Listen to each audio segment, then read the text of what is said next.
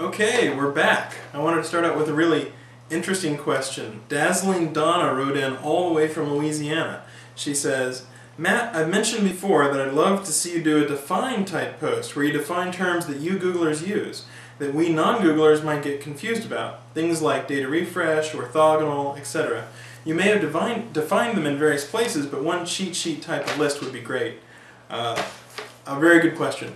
So uh, at some point I'll have to do a blog post about host versus domain and a bunch of stuff like that.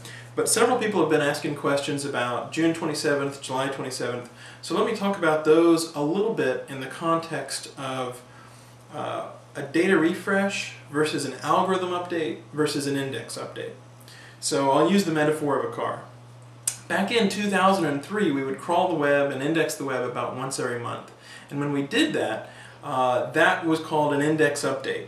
Algorithms could change, the data would change, everything could change all in one shot. So that was a pretty big deal. Uh, Webmaster World would name those index updates. Now that we pretty much crawl and refresh some of our index every single day, it's, it's ever flux. It's an always going on sort of process.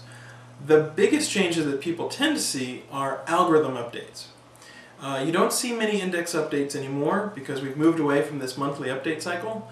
The only times you might see them is uh, if you're computing an index which is incompatible from the old index. So for example, if you change how you do segmentation of CJK, uh, Chinese, Japanese, or Korean, something like that, you might have to completely change your index and build another index in parallel.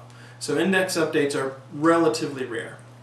Algorithm updates basically are when you change your algorithm. So maybe that's changing how you score a particular page. You say to yourself, oh, you know, the page rank matters this much more or this much less, things like that.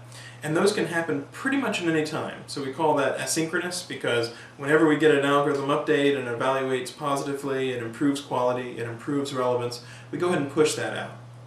And then the smallest change is called a data refresh. And that's essentially like you're changing the input to the algorithm, you're changing the data that the algorithm works on. So an index update with a car metaphor would be changing a large section of the car, things like uh, changing the car entirely. Whereas an algorithm update would be things like changing a part in the car, maybe uh, changing out the engine for a different engine, or some other large part of the car. A data refresh is more like changing the gas in your car. Every one or two weeks or three weeks if you're driving a hybrid, you'll change what actually goes in and how the algorithm operates on that data.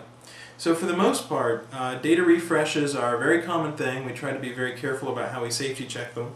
Uh, some data refreshes happen all the time. So for example, we, can we compute PageRank continually and continuously. So there's always a bank of machines refining PageRank based on incoming data. And PageRank goes out all the time, anytime there's a new update within our index, which happens pretty much every day. Uh, by contrast, some algorithms are updated every week, every couple weeks, and so those are data refreshes that happen on a slower pace.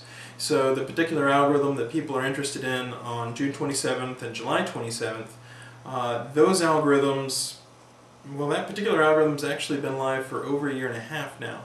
So it's data refreshes that you're seeing that are changing the way people's sites rank.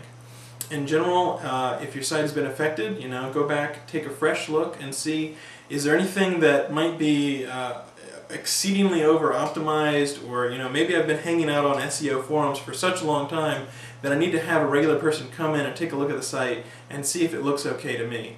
Uh, if you've tried all the regular stuff and it still looks okay to you, then I would just keep building regular good content, try to make the site very useful, and if the site is useful, then Google should, uh, you know, fight hard to make sure that it ranks where it should be ranking.